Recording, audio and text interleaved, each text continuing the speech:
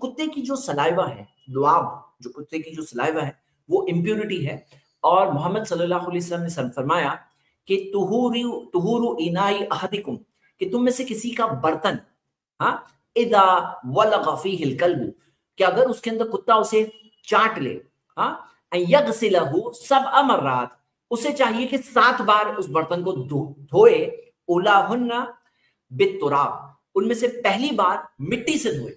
तो एक हदीस में आया कि पहली बार, एक हदीस में आया, आखिरी बार, लेकिन मिट्टी से धोए, मिट्टी से, और फिर उसके बाद उसको सात बार धोए। और एक में आया, सात बार धोए, आखिरी बार मिट्टी से धोए। दोनों चीज़ों की हदीस हमें मिलती है। तो हम ये देखते हैं कि ये सेवन टाइम्स वॉश करने कहा गया इतना ज़्यादा सीरियस मामला है। और हम लोग ये देखते हैं कि जो लोग कुत्ते रखते हैं घर में तो जो कुत्तों को किस तरह से वो लोग अपने साथ रखते हैं, कितना कुत्ता उनको लिक करता है, उनको चाटता है, उनके हाथों को हाँ यहाँ तक आगे बाज लोग किस करते हैं कुत्ते को? हाँ कुत्ते को किस करते हैं? तो ये चीज़ के बारे में अब ये सवाल आ रहा है, यहाँ तो इतनी स्ट्रिक्ट बात कही गई है। फिर क्या है मामला? आइए देखते हैं। मैं आपके सामने अभी थोड़ी रिपोर्ट्स रख रहा हूँ। देखिए, सबसे पहला रिसर्च पेपर है और ये रिसर्च पेपर्स नॉन मुस्लिम्स ने डिस्कवर किया है और जो मैं बातें रख रहा हूँ, ये पूरी सेक्युलर दुनिया की रिसर्च है। उसके अंदर क्या बात आई? नेशनल लाइब्रेरी ऑफ़ मेडिसिन के अंदर ये एक फ़र्स्ट रिपोर्ट मैं आपके सामने रख रहा हूँ। इससे क्या पता चलता है कि टूथ एंड गम बैक्टीरिया होते हैं वो डॉग से इंसानों में ट्रांसमिट होते हैं। हाँ? Distribution of periodontopathic bacterial species in dogs and their owners तो ये रिसर्च के अंदर क्या आया? कि ये ट्रांसमिट हो सकती है इंसानों से डॉग्स में और डॉग से इंसानों में। तो ये जो जो मान लो कि जो बैक्टीरिया होते हैं मुँह में, वो आगे यहाँ से वहाँ जाते हैं। ये बात पहले पता चली। ऐसा नहीं होता है कि उनके यहाँ नहीं आ सकते। ऐसा नहीं होता है। ये बात पहले देखिए। और आप ये केस देखोगे, एक सत्तर साल की कॉकेसियन औरत के ताल्लुक से आया था कि उसको कैप्टनो कैप्नोसाइटोफैगा कैनिमोर्सिस सेप्टी सेप्टिकैमिया ये बैक्टीरिया का जो उसको, ये डिज़ीज़ उसको ट्रीट किया गया, उसके ताल्लुक से देखा गया कि एक ही चीज़ थी कि उसके पास इटालियन एक ग्रे हाउंड कुत्ता था हाउस होल्ड पेट और ना उसने बाइट किया था, ना स्क्रैच किया था ऐसे केसेस में जब ये क्लियरली स्टैब्लिश हो जाए, लेकिन वो लिक करता था, चाटता था उसे। तो उस औरत के बारे में क्या देखा गया कि ये बैक्टीरिया इस तरह से ग्रो हुई जो इन डॉग्स और कैट्स के मुँह में होती है हाँ मुँह में होती है ओरल कैविटीज में होती है। तो वो चीज़ की वजह से उसको सिवियर इन्फेक्शन हो गया सिवियर इन्फेक्शन उसको मल्टी ऑर्गन फेलियर्स हुए मल्टी ऑर्गन डायफंक्शन फ़ंक्शन हो गए हाँ और यानी कि बहुत ही severely deteriorated rapidly with sepsis हाँ?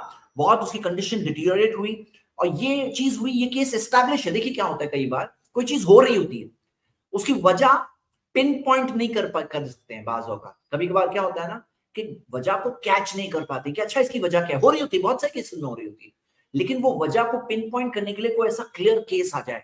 तो ऐसा क्लियर केस एक इनके सामने आया, जिससे वो बात आई। अब चलिए मैं आपके सामने कुछ चीज़ें बताता हूँ कि एक डॉग के माउथ में और ह्यूमन माउथ में दोनों में बैक्टीरिया होते हैं। तकरीबन 700 अलग अलग स्पीशीज के बैक्टीरिया होते हैं और हमारे मुँह में जो बैक्टीरिया होते हैं, वो खाना डाइजेस्ट करने वगैरह के लिए रिक्वायर्ड होते हैं। जो कुत्ते के मुँह में जो बैक्टीरिया है, हमारे मुँह से अलग बैक्टीरिया होते हैं। यानी अक्सर उनमें से हमारे मुँह से अलग होते हैं, वो फिगर आगे आने वाला है, आप देखोगे कितने अलग होते हैं। ये मैं पढ़ रहा हूँ। और इसके अंदर बैक्टीरियल इन्फेक्शन के अंदर ये कैनिस ये जो बैक्टीरिया है, ये most common organism found in organism found in a person skin has been bitten by dog अगर डॉग अगर बाइट करता है तो चमड़ी में जो सबसे कॉमन ऑर्गेनिज्म मिलता है, वो कौन सा होता है? उस बैक्टीरिया का नाम ये है। हाँ? आप जो सेकंड पैराग्राफ में देख रहे हैं। और ये बैक्टीरिया के अलावा एक सेकेंड बैक्टीरिया दी हुई है, जो कैप्नो, कैप्नोसिप्टोफैगा कैनिमोर्सिस, जो बाइट की वूंड से होती है, जिससे सिवियर बैक्टीरियल इन्फेक्शन होता है।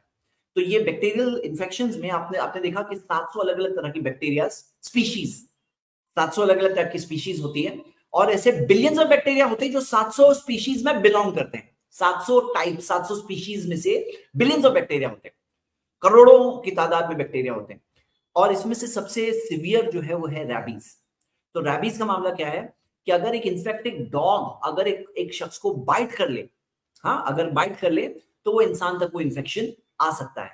और आप जानते हैं कि जो इंजेक्शन लेने पड़ते हैं ताकि इन्फेक्शन ना आए, क्योंकि अगर इन्फेक्शन आ गया तो फिर क्या होगा?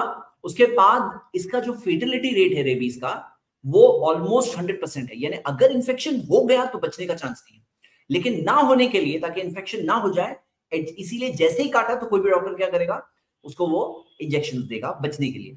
तो देखा जाता है कि जो डॉग्स को हो जाता है तो उनका बिहेवियर वैसा हो जाता है एंग्जाइटी नर्वसनेस आगे जाके अग्रेसिव हो जाते हैं वैसे डॉग्स जिनको रेबीज हो गया है, वो अग्रेसिव यानी कि गुस्से वाले अनकंट्रोल्ड हो जाते हैं अनकोऑर्डिनेटेड डिसोरिएंटेड होते हैं, किसी को भी जाके अटैक करने लगते हैं, उनके अंदर ट्रेमर्स और सीजर्स आने लगते हैं, ये रेबीज का इन्फेक्टेड कुत्तों की बात है। और अब सुनिए ये फ़र्स्ट लाइन में जो दिया है नेक्स्ट नेक्स्ट रिपोर्ट है, अलग रिपोर्ट है इसके अंदर आता है कि जो कॉमन जो होते हैं ना माइक्रोब्स इंसान और डॉग के बीच में 16 परसेंट कॉमन होते हैं। 16.4 परसेंट, यानी यानी कि आप कितना देखेंगे 83 परसेंट से ज़्यादा अनकॉमन होते हैं, यानी अलग अलग होते हैं।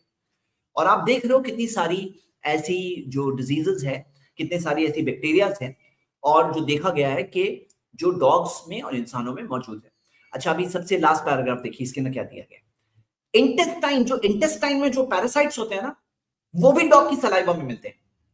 मतलब जो जो आप वर्म्स होते हैं हाँ जो पैरासाइट्स होते हैं, जो कीड़े होते हैं वर्म्स जो टॉयलेट में पॉटी में हो जाते हैं, वो डॉग की सलाइवा में कैसे पहुँचते हैं? क्या आपको पता है कैसे पहुँचते हैं?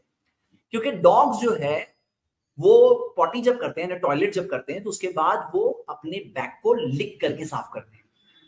लिक करके साफ़ करते हैं टॉयलेट करने के बाद। और वो लिक करने की वजह से ये साफ़ होते हैं, लेकिन उसके बाद क्या है? वो कीड़े जो होते हैं, उसके वर्म्स उसके जो एग्स जो होते हैं और जो पैरासाइट्स होते हैं, वो डॉग्स के माउथ में और नेसल कैविटीज में मिले, मिलते हैं। तो आप देखोगे, ये प्रॉब्लम भी है। वो डॉग जो बोलते हैं, अरे, कितना क्यूट है। और आके लिक कर रहा है, वो क्या है? वो उसी डॉग के बारे में आपको ये बात भी जानना चाहिए कि उसके माउथ में, उसके नेसल कैविटीज के अंदर सारे, इतने सारे बैक्टीरिया के स्पीशीज के अलावा उसके अंदर ये पैरासाइट भी मौजूद होते हैं। हाँ पैरासाइट्स भी मौजूद होते हैं। और मैं आपको ये कुछ केसेस बताऊँगा, जैसे ये एक पर्सन के बारे में। ये केस ये केस के अंदर इसको इसके डॉग ने, ये पर्सन का हाथ काटने पड़े, पाँव काटने पड़े और नोज़ काटने पड़े। क्यों? क्योंकि उसको इतना सिवियर इन्फेक्शन हो गया था डॉग की वजह से। और डॉग ने बाइट नहीं किया था नो ये डॉग बाइट का केस नहीं था, सिर्फ़ लिकिंग की वजह से। हाँ ये आप देखिए जो आप डॉक्टर स्टीवन कोल का स्टेटमेंट है, वो कहते हैं the type of bacterium capnocytophaga is completely normal canimorphosis is completely normal flora of a dog's mouth. ये डॉक्टर डॉग के माउथ में बिल्कुल नॉर्मल है। उससे उस डॉग को डिज़ीज़ नहीं होती। However, in the wrong place, at the wrong time, in the wrong patient, it can lead to severe infections and very very rarely.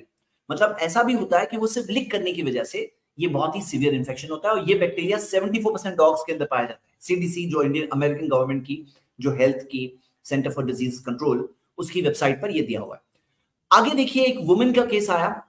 जिसके अंदर उसके पाँव एम्प्यूट किए गए कट कर दिए गए, क्योंकि उसको डॉग ने लिक किया था। अब वो वुमेन के ताल्लुक से है कि उसको जो लिक किया था, जो जो चाटा था डॉग ने तो स्क्रैच था उसके हाथ पर। वो स्क्रैच की वजह से उसके अंदर बॉडी के अंदर वो लिक करने की वजह से वो बैक्टीरिया चली गई। जो डॉग ने लिक किया, उसकी वजह से वो बैक्टीरिया अंदर चली गई और उसकी वजह से उसको सिवियर गैंग्रीन हो गई। सिवियर गैंग्रीन हो गई, उसके पाँव को कट करना पड़ा और वजह क्या थी? वो डॉग का लिक करना। और ये सब चीज़ साबित है। ये केसेस आइडेंटिफाई होकर सामने आए हैं। बहुत ज़्यादा इस बारे में डिस्कशन हुआ है। अगर आप देखोगे, कई सारी वेबसाइट्स ने ये केसेस को रिपोर्ट किया है और कई सारे लोगों ने, क्योंकि ये बिल्कुल एक्यूरेटली डिटेक्ट हो गया। अब आइए, आगे हम देखते हैं। आप देखिए रेबीज के अंदर क्या कहा गया। कि रेबीज के 99 परसेंट केसेस के अंदर डोमेस्टिक डॉग्स होते हैं रिस्पॉन्सिबल ये वर्ल्ड हेल्थ ऑर्गेनाइजेशन की वेबसाइट पूरा लिंक दिया हुआ है। आप देख सकते हो कि रेबीज के अंदर 99 परसेंट केस जो पालतू कुत्ते होते हैं। वो होते हैं जिम्मेदार rabies transmission to human beings में। तो ये भी बात समझना चाहिए कि ये किस तरह से स्प्रेड होता है और बच्चे इसके अंदर सबसे ज़्यादा फ्रीक्वेंट विक्टिम्स होते हैं। बच्चों की वो चीज़ नहीं उनका जो जो, वो उस तरह से उस चीज़ को नहीं फाइट कर पाता उनका इम्यून सिस्टम और वो सबसे ज़्यादा इसके अंदर शिकार होता